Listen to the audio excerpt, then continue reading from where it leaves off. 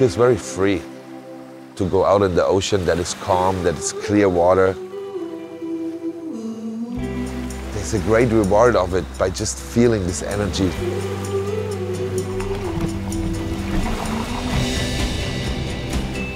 I came here in 1990. I was 20 years old. I already had uh, worked for three years in a big sports department store in Germany, and I just was ready to go a little bit more in the adventure of life. And arriving in the Dominican Republic really beat everything I've seen till then.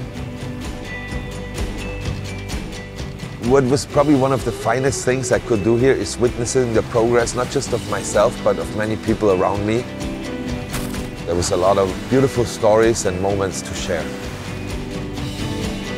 My parents moved here to the Dominican Republic when I was five years old. And I would say Marcus was like the big brother slash uncle from day one. He was trying to push us to do surfing, to do windsurfing, to do any kind of water sports.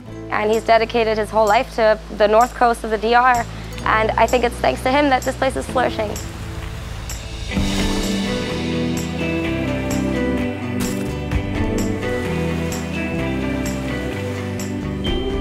In uh, 1997, we installed the first kiteboard operation here in the Dominican Republic. What you see here, it was called the Cabarete Kids Team, where we supported six local kids to go to school and they received windsurf equipment that was custom made for them. I was a windsurfer, so I see Marcus all the time just going very fast. And by the time I learned it, we become good friends. Thanks to him, we're all having a great time here in Cabarete because he introduced us into the sport. Cabarete is one of the few places in the world you can surf, windsurf, kitesurf, and stand-up paddleboard in one day.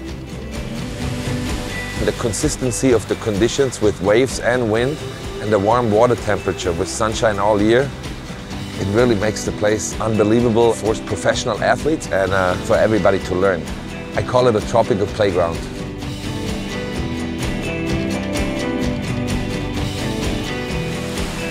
That's living in the DR.